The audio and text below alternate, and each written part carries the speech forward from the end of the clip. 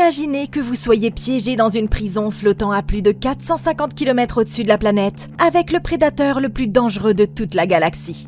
Ce sont des machines à tuer parfaitement entraînées pour la chasse, qui n'ont d'autre but que de détruire tous les êtres vivants qu'elles croisent. Et si vous ne pouvez ni courir, ni vous cacher, ni même vous battre, votre seul espoir de survie est de quitter cette station avant qu'il ne soit trop tard. Je suis là pour vous expliquer les erreurs commises, ce que vous devriez faire et comment battre l'invasion des xénomorphes dans Alien Romulus. Quelque part dans les confins de l'espace, une sonde de Wayland Yutani arrive sur l'épave du Nostromo, où Ripley a rencontré le xénomorphe pour la première fois 20 ans plus tôt. Ramassant un grand cocon, elle retourne à une station spatiale où une équipe de chercheurs décide de l'ouvrir. Mais ce sera leur plus grosse erreur. Cinq mois plus tard, l'orpheline Rain se rend au bureau de la colonie avec son frère androïde, Andy.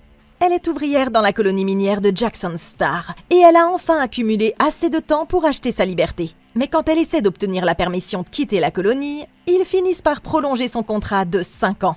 Plus tard dans la nuit, elle reçoit un appel de son ex-petit ami Tyler. Alors qu'il travaillait sur son vaisseau de transport, ils ont détecté une station spatiale abandonnée qui flotte juste au-dessus de la colonie. Ils sont tous orphelins. Alors, au lieu d'attendre que la compagnie les tue à leur tour, ils ont décidé de s'envoler, de prendre les capsules cryogéniques de la station et de les utiliser pour faire le voyage de 9 ans jusqu'à Yavaga, où ils pourront enfin voir le soleil. Le seul hic, c'est qu'ils ont besoin d'Andy, l'androïde, pour les aider à pénétrer à l'intérieur. Leur vaisseau de fortune parvient à peine à traverser l'atmosphère, mais après s'être élevé au-dessus des nuages, Rain voit le soleil pour la première fois de sa vie. Au loin, ils aperçoivent l'énorme station spatiale Renaissance, et la jeune pilote Navarro les accroche à la plateforme. Mais rien ni personne n'aurait pu les préparer à ce qui est sur le point de se produire. Ok, je comprends le point de vue de ces gamins, mais il faut qu'ils fassent attention avant de tomber directement dans un piège mortel. Ils oublient qu'ils ont trouvé cet endroit parce qu'il y avait une balise de détresse. Et la seule fois où on en envoie une, c'est quand on est en détresse. Il a dû se passer quelque chose de très grave pour que la compagnie abandonne une station entière. Et à ce moment-là, ils n'ont aucun moyen de savoir si les nacelles sont encore intactes. Rien ne garantit que les capsules soient en assez bon état pour un voyage intergalactique. Ils prennent donc beaucoup de risques rien qu'en cherchant à savoir si elles sont trop endommagées. Et si elles ne sont pas en mauvais état, ce sera un signal d'alarme encore plus fort. Ces nacelles valent certainement plus que leur vie pour la compagnie. Et s'ils ne veulent même pas laisser quelques travailleurs quitter la planète, pourquoi laisseraient-ils un équipement aussi précieux flotter dans l'espace jusqu'à ce qu'il soit détruit? La seule raison logique, c'est qu'il se passe quelque chose dans la station que même la compagnie ne veut pas approcher. Alors, j'y réfléchirai à deux fois avant d'y aller, même si c'est leur seule et unique chance de quitter cette planète. Maintenant, leur plan est que Tyler, Bjorn et Andy aillent à l'intérieur, tandis que Rain, Kay et Navarro resteront sur le vaisseau. Comme la station est abandonnée depuis longtemps, ils doivent s'attendre à ce que les systèmes essentiels comme l'alimentation électrique, le système de survie et le contrôle de la gravité soient tous hors service. Il sera donc extrêmement dangereux de se déplacer dans la station. Et tant qu'ils seront à l'intérieur, ils devront compter sur leur propre équipement pour rester en vie. Ce qui veut dire qu'en cas de problème, ils pourraient mourir par simple manque d'oxygène. La structure elle-même est probablement utilisable. Mais comme ils ne disposent que de 36 heures avant que la station ne s'écrase sur les anneaux de la planète, ils ne veulent pas se retrouver piégés à l'intérieur. Sans compter qu'il pourrait y avoir des systèmes de défense automatisés ou même les restes de produits dangereux sur lesquels ils faisaient des recherches. Donc, si vous voulez mon avis, le plan pourrait être un peu amélioré. Et puis, 36 heures, c'est pas le délai le plus long, mais ça leur donne assez de temps pour ne pas avoir à se précipiter. Au lieu d'y aller en groupe, j'enverrai Andy tout seul pour repérer les lieux d'abord. En tant que droïde, il est bien mieux équipé pour faire face à des situations comme une faible luminosité, une faible gravité et l'absence d'oxygène. Et il est aussi bien plus facile à sauver et à réparer s'il se blesse. Il devrait d'abord envoyer Andy à l'intérieur pour qu'il puisse évaluer le danger et leur faire savoir si les nacelles sont récupérables. Pendant qu'il sera à l'intérieur, il pourrait activer les systèmes de survie qu'il serait possible de remettre en marche, ce qui rendrait la situation beaucoup plus sûre avant que ses amis ne le suivent à l'intérieur. Avant d'entrer, j'emporterai également des réserves d'air de secours, au cas où nous serions bloqués, et j'utiliserai des balises de guidage pour marquer notre parcours afin qu'il soit facile de retrouver notre chemin. Les garçons se dirigent vers le SAS munis d'un scanner thermique pour les aider à trouver les nacelles cryogéniques, tandis que les filles restent à bord du vaisseau. Ils finissent par arriver à un endroit où le tunnel s'ouvre sur une pièce plus grande, et Tyler y jette une lumière pour les aider à voir. Ils sont coincés en apesanteur jusqu'à ce que l'électricité soit rétablie. Mais alors qu'ils flottent dans la pièce, ils entendent le bruit d'une grosse machine qui se met en marche. Ils sont surpris de constater qu'il s'agit du générateur de gravité, qui doit se purger toutes les quelques minutes pour empêcher la station d'exploser. Tout à coup, Bjorn retombe sur le sol quand la gravité se rétablit momentanément. Heureusement, il atterrit sans se blesser, et ils parviennent tous à réactiver les ordinateurs à l'aide des clés d'accès de la compagnie que possède Andy. Ça permet de rétablir la gravité pour de bon et d'alimenter les nacelles cryogéniques dont ils auront besoin pour le voyage. Mais il y a un problème. Les nacelles n'ont pas assez de carburant. Tyler n'est pas encore prêt à abandonner, et il utilise le scanner thermique pour trouver un autre point froid dans une partie proche du vaisseau. Il éjecte la capsule de sauvetage et demande à Navarro de la récupérer, pendant qu'eux vont chercher le cryocarburant qui se trouve plus loin. En se positionnant correctement, les filles parviennent à réceptionner délicatement la capsule de sauvetage dans la soute du transporteur. Kay commence à se sentir nauséeuse, et quand ses amis s'occupent d'elle, elle découvre qu'elle est enceinte du bébé de Bjorn, ce qui rend encore plus important le fait qu'elle survive à ce voyage. Dans un des couloirs, une voix off activée par le mouvement explique que la station est divisée en deux moitiés, Romulus et Remus. Voyant qu'ils sont effrayés, Andy tente de détendre l'atmosphère avec quelques blagues de papa. Mais c'est alors que Bjorn s'emporte. Il est furieux parce qu'un androïde a laissé sa mère mourir lors d'une explosion dans les mines. Et il dit à Andy que le système vers lequel il voyage n'accepte même pas les humains synthétiques. Ce que Rain savait, mais qu'elle n'a pas eu le cœur de dire à Andy. Ils ont seulement besoin de lui pour piloter le vaisseau. Mais une fois qu'ils auront atteint Ivaga, il sera mis hors service. Ça veut dire que c'est un aller simple pour lui, mais sa seule directive est de faire ce qu'il y a de mieux pour Rain. Alors Andy promet de rester à ses côtés quoi qu'il arrive. En suivant le signal, les garçons arrivent dans un laboratoire qui semble être la source du froid. Mais c'est alors qu'ils remarquent quelque chose d'étrange. Les équipements et les machines coûteuses sont tous encore là, ce qui donne l'impression que cette station a été abandonnée plutôt qu'intentionnellement mise à la retraite. Bjorn prend une matraque électrique, mais pendant qu'il malmène Andy avec, l'androïde lui évite de tomber dans un énorme trou qui a traversé le sol. Plus loin, au fond d'une pièce inondée, Tyler trouve les cellules cryogéniques avec plus qu'assez de carburant pour faire le voyage. Il a besoin de l'aide de Bjorn pour les sortir, mais il se gèle les mains avec un jet d'air glacé et il fait de les retirer et active un dispositif d'alarme qui verrouille la pièce. Andy essaie de les faire sortir, mais il n'a pas les autorisations nécessaires pour ouvrir la porte, ce qui veut dire qu'ils vont devoir trouver un autre moyen. Comprenant qu'ils sont en danger, Rain et Navarro les rejoignent au labo, laissant Kay seule dans le vaisseau. Rain repère ce qui reste d'un androïde étendu sur le sol, et elle comprend qu'elle pourrait utiliser son module pour augmenter les habilitations d'Andy. Mais le droïde attaque quand elle tend la main vers la puce, ce qui oblige la pilote à l'aider à le maîtriser. Pendant ce temps, à l'intérieur de la pièce, Andy remarque des dizaines de sacs d'œufs entreposés le long du mur du fond. Et la température augmente progressivement maintenant qu'ils ont retiré le liquide de refroidissement. Mais il ne s'agit pas de n'importe quel genre de sac d'œufs. Ce sont des facehuggers, des étreigneurs de visage. Alors qu'Andy prend plusieurs longues minutes pour redémarrer, un tas de ces petites abominations commencent à tomber dans l'eau à leurs pieds. Ok, et c'est exactement la raison pour laquelle j'ai dit qu'il devait y avoir une bonne raison pour que cet endroit ait été abandonné.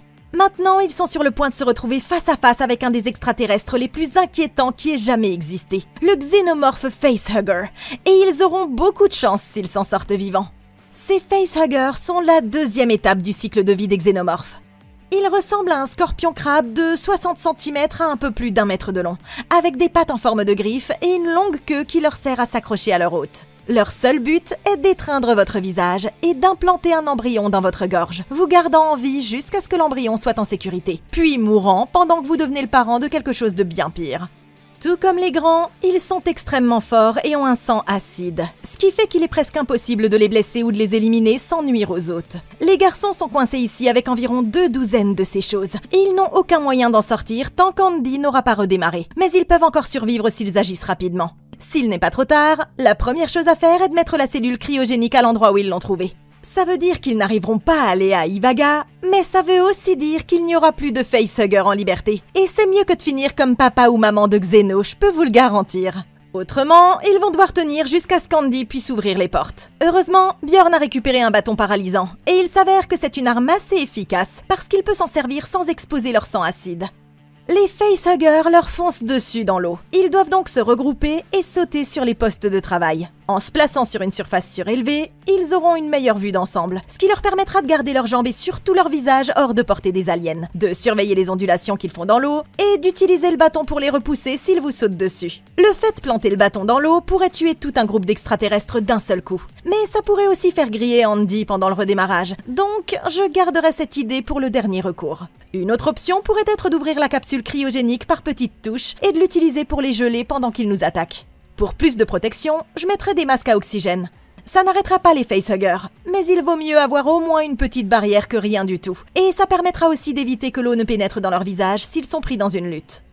Entre-temps, Rain devrait retourner au labo pour chercher des armes ou un outil pour ouvrir la porte manuellement, ou toute autre chose qui pourrait être utile. Et Navarro devrait commencer à courir vers le vaisseau parce qu'ils auront aussi besoin de sortir d'ici rapidement s'ils parviennent à survivre. Avant même que les autres ne réalisent ce qui se passe, un des facehuggers se faufile jusqu'à Bjorn et s'enroule autour de sa cheville, le faisant tomber dans l'eau. Un autre saute sur sa tête alors qu'il se relève péniblement, mais il parvient à le repousser avec son bâton électrique. Celui-ci s'en prend à Tyler et parvient presque à s'accrocher à sa bouche. Son ami s'approche et il lui envoie une décharge électrique. Mais celle-ci finit par assommer Tyler aussi, qui tombe paralysé dans l'eau. Il se réveille au moment où un des extraterrestres bondit vers sa tête. Mais Andy redémarre juste à temps et attrape la créature par la queue avant de la projeter contre le mur. Ils se précipitent vers la porte et parviennent à l'ouvrir et à s'échapper de la pièce. Mais une armée de facehuggers est encore à leur trousse. Andy scelle la porte, mais l'un d'eux réussit à passer, à sauter sur le visage de Navarro et à s'accrocher fermement à son cou. Ils ne parviennent pas à l'enlever sans l'étouffer en même temps, et Andy s'empresse de leur faire remarquer que c'est en fait ce qui la maintient en vie. Confus, les autres remarquent qu'Andy parle avec une voix différente, et il semble que son habilitation ne soit pas la seule chose qui a été récemment mise à jour. Il ne sait toujours pas ce qu'est la créature, ni s'ils peuvent sauver Navarro, mais il a une idée sur la façon de le découvrir. Après avoir retiré l'androïde blessé du sol, il le branche à une source d'énergie et le remet en marche. Il s'agit de Rook, l'ancien agent scientifique de la station. Selon Rook, les seuls qu'ils peuvent encore sauver, c'est eux-mêmes. Il explique que l'extraterrestre a planté une graine à l'intérieur de leur pilote, et que ce n'est qu'une question de temps avant que quelque chose d'encore plus dangereux ne sorte de son corps. Il lève les yeux et voit la créature responsable de la destruction de la station. Le corps d'un xénomorphe adulte mort. C'est ce qui est sorti du cocon trouvé dans l'épave du Nostromo, et il s'est déchaîné en tuant presque tout le monde à bord. Quand ils ont fini par l'abattre, son sang acide a fait un trou à travers toute la station, jusqu'à ce que Rook ici présent finisse par le sceller. Rain suggère de congeler la créature pour l'enlever du visage de Navarro. Le plan fonctionne, et il jette le facehugger dans le trou du sol. Mais l'œuf est déjà profondément ancré, et Rook ne cache pas que les chances de survie de la jeune femme ne sont pas bonnes. Il prend la main d'Andy et lui explique qu'il ne doit pas laisser leurs émotions humaines mettre tout le groupe en danger. Andy est prêt à faire tout ce qu'il faudra pour que les autres puissent survivre. Mais quand Bjorn comprend ce qu'il est en train de faire, il assomme rapidement Andy avec le bâton électrique, attrape la jeune pilote et ils s'enfuient tous les deux vers le vaisseau. Dès que Rain le remet en marche, Andy s'élance à leur poursuite à la vitesse fulgurante d'un androïde, forçant l'ouverture des portes du sas avec un regard froid et sans émotion. Mais il arrive trop tard, et Bjorn parvient à le bloquer dehors au dernier moment ils n'ont d'autre choix que de désamarrer le vaisseau, laissant Rain, Tyler et Andy sur la station. Quelques minutes plus tard, Navarro s'effondre sur le sol, et alors que l'extraterrestre commence à forcer le passage pour sortir de son thorax, elle donne accidentellement un coup de pied dans les commandes, ce qui entraîne le vaisseau dans une spirale incontrôlable à la périphérie de la station. Tout à coup, le chestbuster éclate hors de la poitrine de Navarro, tandis que le vaisseau percute un réservoir de carburant sur le côté de la station, provoquant une énorme explosion qui envoie tout le monde voler contre le mur. Bjorn se précipite pour l'aider, mais il arrive juste à temps pour voir le bébé xénomorphe sortir du corps de sa copine. Ça en fait une de moins, et il en reste six. Heureusement pour le groupe, le vaisseau parvient à s'écraser directement dans un hangar ouvert, et Bjorn tombe en bas de l'échelle, s'assommant lui-même au passage. La collision se produit dans une partie pressurisée du vaisseau, ce qui entraîne la fermeture automatique des portes du hangar. Ils sont donc tous coincés à bord avec les extraterrestres, et c'est même pas le pire, parce que l'explosion a fait dévier la station de sa trajectoire, et il ne leur reste maintenant plus que 47 minutes avant qu'elle ne s'écrase dans les anneaux de la planète. Ok, putain de merde, je crois que je n'ai jamais vu un plan tourner aussi mal et aussi vite. Ce qui est dingue, c'est que personne n'est à blâmer. Mais au lieu de ça, vous êtes tous les six des crétins qui ont travaillé ensemble pour provoquer une énorme catastrophe. Et tout ce que je peux dire maintenant, c'est que vous avez tous merdé. Nous pourrions admettre que ce plan était voué à l'échec dès le départ, pas vrai? Non seulement vous parliez de voler du matériel de grande valeur à la compagnie la plus puissante de la galaxie, mais en plus, vous vous êtes introduit dans une station abandonnée sans même vous demander pourquoi elle l'était.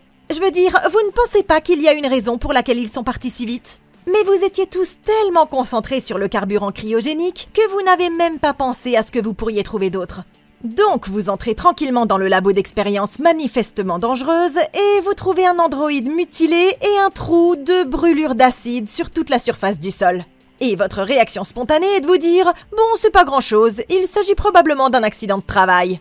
Et quoi alors? Ils l'ont juste laissé là et ils ont continué leur vie? C'est le signe évident que nous avons un problème sur les bras. Mais vous n'avez même pas pris la peine de regarder autour de vous avant de toucher un truc que vous n'auriez pas dû et de libérer le parasite le plus horrible que l'homme ait jamais connu. Vous pensiez être devenu plus futé après que Navarro se soit fait implanter un œuf extraterrestre? Rook a essayé de vous prévenir de ce qui se passait, et vous avez vu ce que cette chose allait devenir quand elle aurait grandi. Alors, rendez service à toute la galaxie et laissez Andy mettre fin à ses souffrances. Mais non, ce crétin de Bjorn s'est laissé emporter par ses émotions et a laissé la moitié du groupe crever sur la station juste pour sauver une fille qui était déjà presque morte en plus. Et maintenant, regardez ce que ça a donné pour lui. Vous savez quoi? Ce que tout le monde vous avait dit qu'il allait arriver est effectivement arrivé. Et c'est encore pire que ce que vous auriez pu imaginer. Faire une erreur sous la pression, c'est une chose, mais se planter à tel point que vous détruisez presque à vous seul votre vaisseau de sauvetage, tous les membres de votre groupe, et une station spatiale entière d'un seul coup, c'est vraiment autre chose. Et très honnêtement, c'est même pas le pire, parce que la prix qui vient de sortir de Navarro est littéralement le pire de vos cauchemars. Félicitations, bande de crétins Vous venez de libérer une des créatures les plus mortelles qui ait jamais existé. Maintenant, elle va vous pourchasser pour le plaisir. Et si elle parvient de quelque façon que ce soit à quitter la station, c'est toute la galaxie qui sera foutue. Heureusement, il vous reste encore une petite chance de sortir de là. Mais il va falloir faire vite maintenant que la rotation de la station a été modifiée. Et qu'il survive ou non pour le raconter, une chose est sûre concernant Rain et ses potes. Vous avez tous sérieusement merdé. Ils n'ont d'autre choix que de se diriger vers le hangar pour tenter de sauver les autres. Mais le chemin est bloqué par des dizaines de facehuggers qui rôdent dans le couloir. Pendant qu'ils réfléchissent à la marche à suivre, Andy retourne discuter avec son compagnon Android, qui lui explique que sa mise à jour s'est accompagnée d'un nouvel ensemble de règles. Maintenant, sa seule directive est la même que celle de Rook, mais on ne sait pas encore exactement ce que ça veut dire. Quand il rejoint les autres, Andy explique que les facehuggers sont aveugles en fait. À vrai dire, les créatures chassent en se basant sur les signatures sonores et thermiques, au lieu de la vision, ce qui donne une idée à Rain. Ils vont augmenter le chauffage jusqu'à ce que la température du hall soit la même que celle de leur corps, ce qui leur permettra de se faufiler discrètement sans que les créatures ne s'en aperçoivent. Avant d'entrer, Andy les prévient que la peur et la sueur les trahiront, et qu'ils vont donc devoir rester aussi calmes que possible. Ils commencent tous les trois à se déplacer le plus discrètement possible, mais Rain manque de compromettre leur plan quand elle est effrayée par tous les cadavres, et Tyler doit la calmer avant que les facehuggers ne passent à l'attaque. Pendant ce temps, sur le vaisseau, Kay se réveille et trouve un étrange cocon qui se forme déjà sur le mur. Quelque chose l'attrape par derrière, mais c'est seulement Bjorn qui l'avertit de ne pas faire de bruit alors qu'il regarde le sac contenant l'œuf commencer à s'ouvrir. Il branche son bâton électrique sur le générateur, augmente la puissance et l'enfonce dans le cocon. Et le sang acide commence à couler de part en part. Tout à coup, une queue s'élance et le frappe à l'œil, le faisant tomber juste en dessous du cocon. Et le sang acide fait littéralement fondre son torse. Horrifié, il voit ses doigts fondre jusqu'à l'os, jusqu'à ce que l'acide atteigne enfin son cœur. Et ça fait deux morts, et il en reste cinq. Kay se précipite vers la sortie quand l'extraterrestre adulte commence à émerger. Mais elle est bloquée, et quand elle essaie d'appeler ses amis par radio, le son les trahit presque auprès des facehuggers de leur côté du vaisseau. Heureusement, elle parvient à trouver la clé au dernier moment, mais elle est si terrifiée qu'elle trébuche accidentellement et tombe brutalement du vaisseau et s'assomme en s'écrasant sur le sol. Les autres sont incapables de rester calmes après avoir entendu qu'elle est en difficulté. Et à présent, les facehuggers savent exactement où ils se trouvent. Andy leur dit de courir, et ils se dirigent vers la sortie la plus proche alors qu'une nuée de créatures se rapproche d'eux. L'androïde arrive le premier au niveau des portes, et il commence à les sceller sans hésiter. Et Tyler réussit à se glisser entre les parois à la dernière seconde. Rain reproche à Andy de les avoir presque abandonnés, mais ce dernier insiste sur le fait qu'il avait tout prévu, promettant qu'il savait pertinemment qu'ils arriveraient à sortir à temps. En parlant d'accidents évités de justesse, il ne leur reste qu'une demi-heure avant que toute la station ne soit détruite, et ils doivent donc continuer à avancer s'ils veulent sauver leurs amis avant qu'il ne soit trop tard. Dans le hangar, Kay se réveille et commence à chercher un moyen de sortir, mais elle entend l'extraterrestre marcher quelque part à proximité. Elle rampe sous une passerelle et s'arrête dans son élan quand la créature saute juste au-dessus d'elle, la forçant à rester complètement immobile. Au lieu de s'en prendre à elle, la créature s'empare des corps de ses deux amis morts et les traîne vers les conduits d'aération. Mais elle n'est pas encore à l'abri. Elle attend que la voie soit libre pour descendre et se dirige vers la sortie la plus proche. Mais en essayant de l'ouvrir, elle déclenche l'alarme. Ses amis arrivent une seconde plus tard, mais quand Andy s'apprête à ouvrir la porte, il aperçoit le xénomorphe qui les observe du haut des containers. Pressentant qu'il s'agit d'un piège, il s'éloigne des commandes, calcule le temps qu'il faudrait pour ouvrir et fermer la porte, et se rend compte qu'ils n'ont tout simplement pas le temps. Ils ont beau le supplier, ils refusent de bouger, et ils ne peuvent que contempler l'extraterrestre transpercer leur ami avec sa queue sous leurs yeux. Ok, bon, ce qui vient de se passer ici est en fait une excellente démonstration des deux approches différentes de la survie. Björn était prêt à tout risquer pour sauver une de ses amies. Mais comme vous pouvez le voir, ça n'a pas très bien fonctionné pour lui. A l'inverse, on a ici Andy qui a dû prendre la décision difficile de laisser Kay devenir de la pâtée pour extraterrestre. Honnêtement, je soutiens totalement cette décision. Et ils le feraient aussi s'ils avaient la moindre idée du genre d'usine à merde dans laquelle ils viennent de tomber. Ils viennent de rencontrer pour la première fois un xénomorphe de stade 4. Et comme vous le savez sans doute déjà, ces créatures sont ce qui résulte de la croissance du bébé d'un facehugger. Rook les appelle ici l'organisme parfait. Et c'est pas pour rien qu'ils sont sans doute l'espèce la plus terrifiante de tous les temps. Ces monstruosités à l'allure d'insectes grandissent ultra rapidement pour atteindre une taille d'environ 2 mètres et peser plus de 130 kilos. Ce qui reviendrait à se faire pourchasser par Shaquille O'Neal s'il s'était fait mordre par une araignée radioactive. Elles sont incroyablement fortes et possèdent un exosquelette extrêmement résistant qui les rend à la limite de l'imperméabilité face à tout type de dégâts. Elles sont dotées de griffes aiguisées comme des rasoirs, d'une seconde mâchoire interne et d'une queue en forme de fouet qui leur permet de transpercer leur proie. Elles sont aussi incroyablement rapides et agiles, mais au lieu de la force brute, ces créatures se reposent surtout sur leur endurance et leur talent de chasseuse, préférant tendre des embuscades à leurs cibles tout en restant à l'affût. La plupart du temps, vous ne les verrez même pas arriver. Et honnêtement, c'est probablement une bonne chose. Tout comme les facehuggers, les xénomorphes adultes n'ont pas Dieu. Au lieu de ça, ils chassent en utilisant leur sensibilité au son et à la chaleur, ce qui leur permet de détecter leur proie dans l'obscurité totale et même à travers les murs. C'est une compétence mortelle, certes, mais c'est peut-être aussi la clé qui leur permettra de quitter la station en vie. Tous leurs amis sont morts et tout ce dont ils ont besoin se trouve déjà à bord du vaisseau. La bonne nouvelle, c'est que le problème des extraterrestres se résoudra de lui-même quand la station s'écrasera sur les anneaux. Du coup, la seule chose qu'il leur reste à faire est de se rendre jusqu'au hangar et de monter à bord de leur vaisseau. Mais le problème évident, c'est qu'un xénomorphe leur bloque le passage. Bon, on sait que les xénos chassent grâce au son et à la chaleur, tout comme les petits gars d'avant. Et plus tôt, nous avons vu Tyler utiliser une fusée éclairante pour attirer les créatures au loin. Donc, pour que cette idée fonctionne, Tyler doit donner toutes les fusées qu'il a à Andy et il devra courir jusqu'au café où ils ont été attaqués par les facehuggers. Une fois sur place, il pourra utiliser le matériel de cuisine pour allumer un feu. Le bruit et la chaleur devraient pouvoir faire diversion et éloigner le xénomorphe du transporteur pour que Rain et Tyler puissent monter à bord en toute sécurité. Andy ne risquera pas d'être implanté. Il pourra donc retourner tranquillement au vaisseau une fois qu'ils auront terminé. Mais nous allons bientôt découvrir que l'androïde a d'autres plans. Furieuse, Rain gifle Andy, dégoûtée qu'il ait laissé mourir leur ami. Elle veut retirer le module de mise à jour qu'il fait agir de cette façon, mais il refuse de la laisser faire, disant que sa nouvelle directive est de faire ce qu'il y a de mieux pour la compagnie. Il prévoit de finir la mission que Rook lui a confiée, et ensuite ils pourront continuer à aller à Ivaga pendant que lui retournera à la colonie au lieu de les suivre. L'androïde les conduit dans un laboratoire ultramoderne où le scientifique a fait des expériences sur l'ADN des xénomorphes. Par l'intermédiaire des ordinateurs, Rook explique que la compagnie a un sérieux problème. En effet, alors qu'ils tentent de conquérir l'espace, leurs employés humains tombent malades et meurent. Ils avaient besoin de rendre les gens plus résistants. Ils ont donc créé un vaccin à partir de l'ADN des xénomorphes, donnant ainsi aux humains les mêmes pouvoirs de régénération que les extraterrestres eux-mêmes.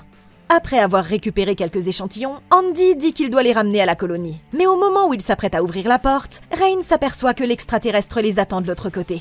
Ils ont besoin d'un nouveau plan. Alors Andy ouvre l'armurerie et donne à chacun d'eux un fusil à impulsion. Tyler apprend à la jeune femme à utiliser l'assistance à la visée, mais c'est alors que l'androïde lui explique que ces armes ne sont pas destinées à tuer. En effet, ils sont au niveau inférieur de la station. Et s'ils tirent sur les xénos, le sang acide les tuera tous. L'idée est d'utiliser les armes et de bluffer en faisant croire à la créature qu'ils sont une menace. Et ainsi, ils auront au moins une petite chance de s'échapper. Au lieu de repasser par là où ils sont venus, ils n'ont d'autre choix que de se faufiler par la zone de convoi, ce qui les mène à un grand tunnel de service. Andy mentionne un ascenseur à l'autre bout qui devrait les ramener au vaisseau. Mais la zone est remplie d'autres sacs d'œufs. Et le pire, c'est qu'ils sont tous vides. Quand ils allument les lumières, ils découvrent avec horreur que les créatures ont transformé le tunnel entier en nid.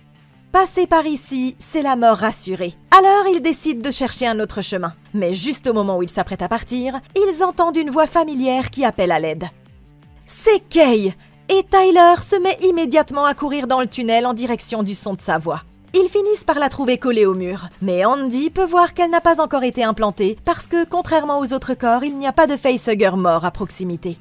Sa seule idée pour garder Kay en vie est d'essayer de lui injecter la mixture secrète de Rook. Mais Rain l'arrête à la dernière seconde. Comme ils ne connaissent pas les effets des produits chimiques de ce truc, elle pense qu'il est plus sûr d'emmener leur ami dans un cryopode. Mais c'est alors qu'ils entendent quelque chose de gros et de visqueux se diriger vers eux. Tyler la prend dans ses bras et ils se précipitent tous les quatre vers l'ascenseur. Mais quand il ouvre la grille, Tyler remarque qu'un xénomorphe se rapproche. Il n'a pas le temps de les avertir. Alors tout ce qu'il peut faire, c'est plonger sur la trajectoire de la créature, encaissant le coup pour sauver ses amis. En un instant, l'extraterrestre lui transperce l'épaule avec sa queue, envoie Andy valser au loin, puis tire Tyler dans le nid, avant de l'achever brutalement d'un coup de mini-bouche en plein dans l'œil. Et ça fait trois morts, et il en reste quatre. Il n'y a pas de temps à perdre, parce que des dizaines d'autres xénos se rapprochent, ce qui oblige Rain à laisser Andy blessé tandis que les fils précipitent à bord de l'ascenseur. Une fois qu'elles sont à bonne distance, Rain réalise qu'elle se doit de retourner chercher Andy, et elle ordonne à Kay de se diriger vers le vaisseau tandis qu'elle utilise l'échelle pour redescendre. Le seul problème, c'est que dès qu'elle est partie, Kay a la brillante idée de s'injecter l'ADN extraterrestre. Et ça, ce sera sa plus grosse erreur. Arrivée en bas, Rain pénètre prudemment dans le tunnel et se dirige vers Andy. Elle doit le redémarrer, et ce faisant, elle retire la puce améliorée de son emplacement, ce qui ramène sa personnalité à la normale. Mais ils ne sont pas encore en sécurité, parce que comme si les xénos ne suffisaient pas, il ne leur reste maintenant plus que 10 minutes avant que la station ne heurte les anneaux et que tout ici fasse boum. Ok, Rain vient de commettre une grave erreur en laissant son ami seul avec les échantillons. Rook a clairement indiqué que sa seule directive était de s'assurer que l'ADN Xeno atteigne la colonie. Et en envoyant Case seul, Rain s'est débarrassé de la seule monnaie d'échange qu'ils auraient pu avoir. Se séparer n'est presque jamais une bonne idée. Il semble que le choix le plus judicieux aurait été de mettre Kay en sécurité d'abord, puis de revenir chercher Andy si elle en avait encore le temps. À présent, ils doivent tous retourner au vaisseau avant que toute la station ne soit détruite. Et le seul moyen de le faire est d'utiliser l'ascenseur. Mais nous n'avons pas le temps d'attendre, parce qu'une horde de Xenos rapproche déjà de nous. Les extraterrestres sont meilleurs que nous dans tous les domaines quand il s'agit de se battre. Ils sont plus forts, plus rapides et plus sournois. Et même si vous leur tiriez dessus, leur sang finirait par faire fondre le sol et vous tuerait de toute façon. S'ils ne peuvent pas atteindre l'ascenseur, leur seul choix est de retourner rapidement jusqu'au labo. Mais ça ne veut pas dire qu'ils n'auront plus aucune autre option ensuite. Premièrement, ils pourront utiliser l'équipement qui s'y trouve pour se fabriquer rapidement des armes qui ne font pas couler de sang. Puis, Andy devrait utiliser ses capacités pour augmenter la chaleur dans toute la station jusqu'à la température du corps, ce qui permettrait à leur signature thermique de se fondre dans la masse. Ensuite, il allumera un feu ici dans le laboratoire. La source de chaleur devrait distraire les xénos pendant qu'eux se faufileront rapidement vers l'ascenseur et rejoindront leur vaisseau avant d'être transformés en poussière spatiale. Juste à ce moment-là, un essaim d'aliens commence à venir vers eux. Le fait de les intimider avec le fusil à impulsion fonctionne, du moins pour l'instant. Ils s'enfuient donc pour sauver leur vie et redescendent vers le convoyeur. Mais ils découvrent que Rook a verrouillé les portes. Maintenant que les échantillons sont en route pour la colonie, ces deux-là ne lui sont plus d'aucune utilité. Et il ne veut rien faire pour les sauver, parce que ça pourrait mettre sa mission en péril. Furieuse, Rain tire quelques coups de feu sur l'écran CRT. Il semble qu'il n'y ait plus aucun moyen de sortir de là. Et ce n'est qu'une question de secondes avant que les extraterrestres ne se rendent compte qu'ils sont sans défense. Pendant ce temps dans le hangar, Kay parvient enfin à regagner le vaisseau. À travers les écrans, Rook tente de convaincre la jeune fille que ses amis sont déjà morts, et il lui dit d'appuyer sur le bouton de pilotage automatique et de sauver sa peau. Les autres sont sur le point d'accepter que c'en est fini, mais c'est alors qu'une blague de papa donne à Rain une idée de dernière minute. Elle se précipite vers les commandes et éteint immédiatement le générateur de gravité, ce qui fait passer le tunnel en gravité zéro. Alors qu'Andy l'aide à se stabiliser, elle commence à tirer sur les seins de Xeno avec son fusil à impulsion. Et l'absence de gravité a pour conséquence que leur sang acide ne traverse pas tout de suite le sol de part en part. Cette fois, les extraterrestres n'ont pas la moindre chance de s'en sortir, et elle parvient à abattre tout le groupe juste avant de manquer de munitions. Il n'y a qu'un seul problème. À présent, la pièce est remplie de grosses flaques vertes flottantes, et le seul moyen de s'en sortir est de retourner jusqu'à l'ascenseur en évitant d'en recevoir une seule goutte sur eux. C'est un parcours dangereux, et quand ils y arrivent enfin, ils réalisent que l'ascenseur ne peut pas fonctionner sans gravité. Ça, ça veut dire qu'ils vont devoir sortir de là façon Peter Pan. Mais juste avant qu'elle ne saute, un autre alien attrape Rain par la jambe, essayant de la tirer à travers la grille. Elle lui fait sauter les mains avec son fusil, et la force des tirs l'envoie voler dans le puits sans aucun contrôle. Et pire encore, le sang acide fait fondre la grille, ce qui pourrait permettre à d'autres xénomorphes d'entrer à l'intérieur. Elle tente d'attraper la main d'Andy avant la prochaine purge gravitationnelle, mais elle n'y parvient pas à temps. Tout à coup, la jeune fille plonge vers le bas quand la gravité se rétablit, et en plein dans sa chute libre, un des xénomorphes la rattrape avec sa queue. Au même moment, le sang acide finit par tomber et à fondre à travers le sol, provoquant une explosion qui force le xénomorphe à la lâcher. Voyant que l'heure est venue, Andy laisse l'ascenseur tomber, éliminant le reste de l'essaim sur son passage. Mais ce n'est pas fini. Un des extraterrestres a survécu, et quand il est sur le point de la tuer, Andy descend de là-haut et utilise son fusil à impulsion pour lui faire exploser la tête, sauvant ainsi la vie de la jeune fille une fois de plus. Ils rejoignent leur vaisseau au moment où la station heurte les anneaux, et ils utilisent le pilote automatique pour les sortir de là quelques secondes seulement avant qu'ils ne soient tués. Rook est également là, et il croit qu'ils vont se contenter de suivre son plan. Mais après avoir transporté son ami blessé dans le cryopode, Rain annonce qu'ils ne retourneront pas à la colonie, et elle éteint l'écran au moment où il est détruit par l'explosion. Ça fait donc 4 morts, et il en reste 3. Après avoir branché Andy à un chargeur qui devrait le maintenir en vie jusqu'à Ivaga, Rain s'apprête à se glisser dans son cryopode, mais elle s'aperçoit que quelque chose ne va pas avec Kay. En examinant son cou, elle découvre que la jeune fille a dû utiliser l'injecteur et que sa grossesse s'est accélérée inexplicablement, au point qu'elle semble sur le point d'accoucher à tout moment. Et c'est exactement ce qui se passe. Mais ce qui sort n'est pas un petit bébé tout mignon. Rain l'enveloppe dans du tissu, prend le sac d'œufs et s'élance vers le sas. Mais le sang acide commence rapidement à tout faire fondre, et la capsule traverse tout et tombe dans le conteneur de fret en contrebas.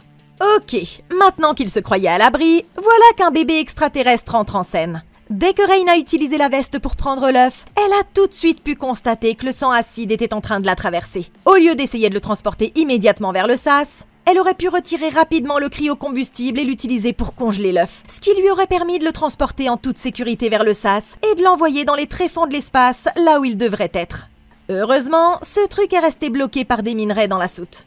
Mais ça ne lui laisse qu'un temps limité avant qu'il ne fonde à travers le sol. Dans l'espace, il n'y a pratiquement pas de pression atmosphérique, si bien que leurs vaisseaux doivent être pressurisés artificiellement. Si le sang acide fond à travers la coque, la différence de pression fera que l'air à l'intérieur du vaisseau se précipitera inéluctablement dans le vide. La force sera telle qu'elle risque de tirer des objets ou même des personnes à travers l'ouverture, ce à quoi vous ne survivriez évidemment pas. Et même si vous n'étiez pas projeté dans l'espace, la chute de pression soudaine provoquerait l'expansion de votre sang, vous faisant perdre connaissance et entraînant votre mort. Mais l'œuf extraterrestre n'est pas la seule menace ici. Le vaisseau est sur le point de passer en mode de pilotage manuel, ce qui veut dire qu'ils n'ont pas beaucoup de temps devant eux avant de s'écraser sur les anneaux. Rain a les mains pleines. Ils devraient donc se séparer et s'occuper de chaque menace l'une après l'autre. La première chose à faire est de reprendre le contrôle du vaisseau. Et nous savons qu'Andy s'est volé puisqu'il était à l'origine leur pilote pour Ivaga. Il devrait donc prendre les commandes et y rester quoi qu'il arrive, parce que nous ne pourrons sauver personne si le vaisseau entier est détruit. Quant à Rain, son premier réflexe est de faire tomber toute la soute. Ce qui est en fait une excellente idée. Mais les systèmes électroniques sont bloqués parce qu'ils ont été endommagés. Ce qui veut dire que son seul choix est de procéder à une manœuvre manuelle. De toute façon, elle va devoir descendre dans la soute. Donc, quand elle arrivera, la première chose à faire sera d'utiliser le cryopulvérisateur pour geler l'œuf et l'empêcher de fondre. Avec un peu de chance, elle arrivera avant que la créature n'émerge. Mais vu la vitesse à laquelle ces trucs grandissent, il y a des chances qu'elle l'ait déjà fait. Si elle rencontre la créature en bas, le cryopulvérisateur restera sa meilleure arme. Et au lieu de viser la créature dans son ensemble, elle devrait essayer de diriger le jet vers ses jambes et ses bras. En gelant ses bras et ses jambes ainsi que sa queue, elle limitera sa mobilité, un de ses facteurs les plus mortels. Ensuite, elle pourra foutre la créature en l'air en larguant la soute manuellement pour s'en débarrasser pour de bon. L'intégrité de la coque étant compromise, le vaisseau repasse en mode pilotage manuel, ce qui les fait tomber tout droit vers les anneaux. Rain s'empare d'un cri au pulvérisateur et descend dans la soute, mais la créature se sauve sans qu'elle s'en aperçoive. Au même moment, Andy se réveille et trouve Kay en train de mourir lentement de ses blessures, avant de se retourner et de voir l'horrible hybride xéno-humain se diriger vers eux. L'androïde tente de l'arrêter, mais la créature lui entaille la gorge avec une de ses griffes avant de s'en prendre à la jeune fille sans défense. En entendant le vacarme, Rain revient en arrière et trouve Andy qui s'accroche à peine à la vie. Et quand elle entre dans la pièce suivante, elle voit l'hybride se régaler du cadavre de son ami. Ça en fait 5 de moins, et il en reste 2. Le monstre se retourne ensuite vers elle, la dominant comme une sorte de putain de Navi dans Avatar. Mais elle utilise un pulvérisateur pour le tenir à l'écart. Agacée, la créature le lui arrache des mains, ce qui a pour effet de remplir tout le vaisseau d'un nuage de gaz glacial. Elle tente de sauver Andy, mais la température baisse trop vite, et elle n'a d'autre choix que de se rendre en clopinant jusqu'au sas, où elle peut utiliser une combinaison environnementale pour se maintenir en vie. Au moment où elle met le casque, elle voit que l'extraterrestre est déjà en train de s'introduire dans le compartiment. C'est alors qu'elle trouve un plan de dernière minute. Elle s'accroche à un treuil, descend dans la soute et se précipite pour décrocher les quatre leviers de sécurité manuellement, afin d'essayer de la détacher et de l'envoyer dans les anneaux de la planète. L'extraterrestre la suit à l'intérieur, et elle n'a que peu de temps pour atteindre chaque levier. Mais juste avant qu'elle n'atteigne le dernier, la créature surgit derrière la jeune fille et la fait tomber. Le monstre se tient juste au-dessus d'elle, et Rain se rend compte que son seul espoir est de donner un coup de pied dans le sac d'œufs, ce qui aura pour effet de faire fondre le sang acide à travers le sol. En un instant, ils sont tous les deux violemment aspirés dans le vide spatial, la laissant suspendue alors qu'il ne reste que quelques secondes avant que leur vaisseau ne percute les anneaux. La jeune fille se bat pour survivre et commence à se hisser. Mais c'est alors que l'extraterrestre s'agrippe à sa combinaison et il la retient en se penchant sur elle pour l'achever. Alors que le verre de son casque est sur le point de se briser, elle tire désespérément sur le treuil, libérant le dernier levier et envoyant l'hybride dans le vide avec le compartiment tout entier. Et ils sont tous les deux détruits par l'impact. Rain se reprend et parvient à se mettre à l'abri juste au moment où le pilote automatique se remet en marche, évitant ainsi à leur vaisseau d'être détruit à son tour. Elle met le cap sur Ivaga, charge Andy dans une capsule pour le maintenir en vie, puis monte elle-même, sachant que la prochaine fois qu'elle se réveillera, elle pourra enfin voir le soleil. Au final, il y a un hybride de moins et on a deux survivants. Mais après avoir vu tout ce qui s'est passé, je commence à penser que la vie sur la colonie n'était peut-être pas si mal que ça après tout. Alien Romulus. Quel putain de voyage Waouh Ce film n'était, je dirais, pas parfait.